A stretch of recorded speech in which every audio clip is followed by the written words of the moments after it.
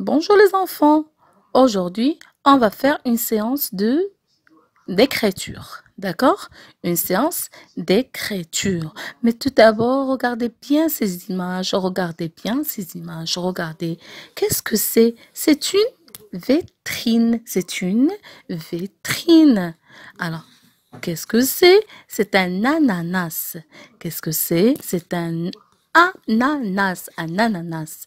Quelle est la couleur que vous voyez sur cette image C'est la couleur noire. C'est la couleur noire. Répétez. Une vitrine, un ananas noir.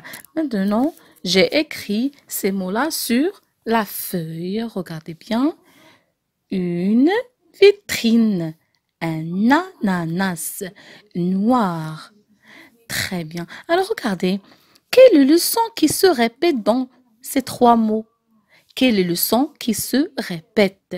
C'est le son N. C'est le son N. Bravo. Maintenant, on va voir la démarche ou bien la méthode pour écrire le son N. Alors, vous prenez le stylo.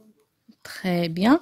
Regardez, je prends mon stylo et je le pose sur le point de repère. Voilà. Et je fais le premier saut de chat. Très bien. Deuxième saut de chat. Et voilà. Voilà le son N. Je répète. Voilà le premier saut de chat. Deuxième saut de chat. Et voilà le son N.